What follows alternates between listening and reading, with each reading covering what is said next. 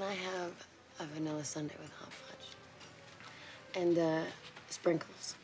Rainbow, not chocolate. Mm-hmm. And, uh, um, whipped cream, cherries, and, uh, Nuts?